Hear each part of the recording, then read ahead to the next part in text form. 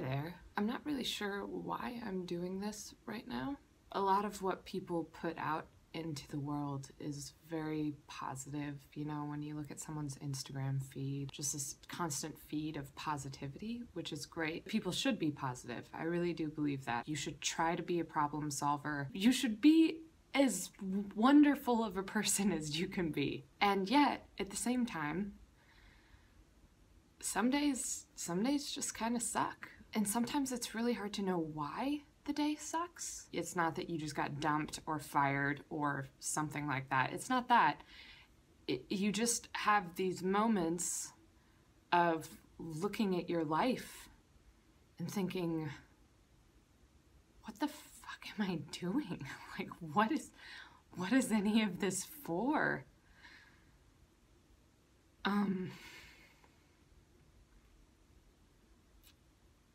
I'm actually not a super emotional person. I'm really not.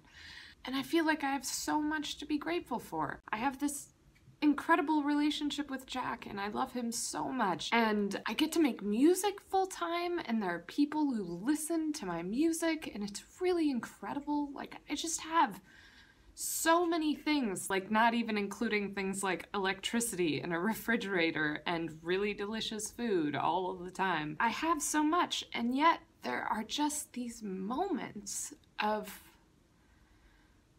why? Why bother? A lot of the time, I wonder what the difference is between never feeling satisfied versus always wanting things to be better. I'm always checking myself, like, are you unhappy right now because nothing is good enough? Is that the problem? It's is it just that no matter what, like if Obama knocked on your door and like gave you an award for like best singer-songwriter of the entire world ever, like you wouldn't be like, "Ah, oh, awesome." Or is it just that you feel like you're just you're just kind of doing this and you really want to be like doing this. I think a lot of it, a lot of the insecurity I feel with regards to my career is because I got so much so soon when I was so young. The way that Pomplamoose took off, now things take a lot more work when there are a thousand people on YouTube versus when there are millions of people on YouTube. There's just a very big difference. One of the problems is that I'm regularly comparing my life to what it was before when Pomplamoose was at its peak. And the other thing I'm comparing my life to uh, is other people. Last night I was kind of a wreck um, and Jack was just telling me, you know, you can't compare your insides to somebody else's outsides.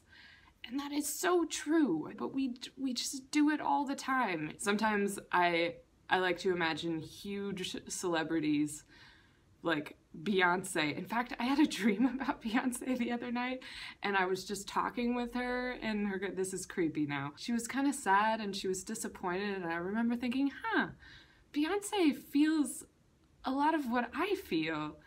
Because it was all happening in my stupid head, I still like to think that, that that's kind of how it is, that everybody looks at their life that whether you're a Fitzgerald uh, or a um, person who tries to write, you always feel that struggle of what am I doing and why.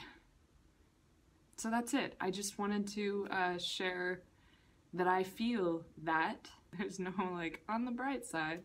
Um, I guess the, the only real lesson is just just don't compare your insides to other people's outsides because it's just not true.